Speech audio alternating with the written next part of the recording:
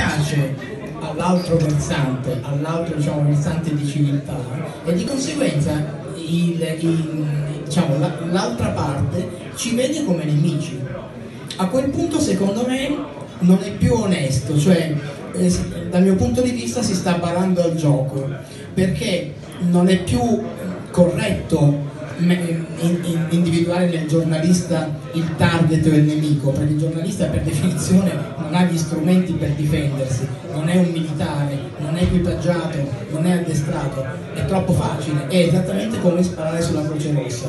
Quindi stiamo andando incontro a un mondo, come dicevi tu giustamente, l'esempio della Siria è palese, che da un momento all'altro, senza apparente motivo, eh, fa scoppiare un bubbone, diciamo, una, una crisi che è, è, talmente confusionaria e sono, sono, talmente tanti le parti in causa che si fa fatica a comprenderla, si fa fatica a capirne l'inizio e soprattutto non se ne vede la fine, perché il conflitto siriano non si vede come possa diciamo, eh, concludersi o evolversi. Ecco.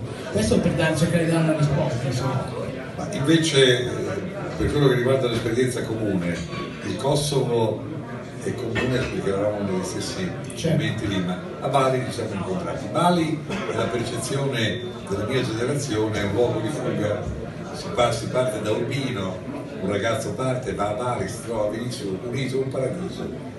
Improvvisamente anche Bali, dopo che io sono andato, diventa un inferno. inferno. Ecco, lo stato attuale qual è? C'è un rasserenamento e Bali è tornata in parte quello che era della nostra, oppure è un luogo come lo Yemen in cui non puoi essere preoccupato? Ascolta, da un momento all'altro, pochi giorni fa ci sono stati due attentati con kamikaze in Indonesia, eh, vicino a Jakarta.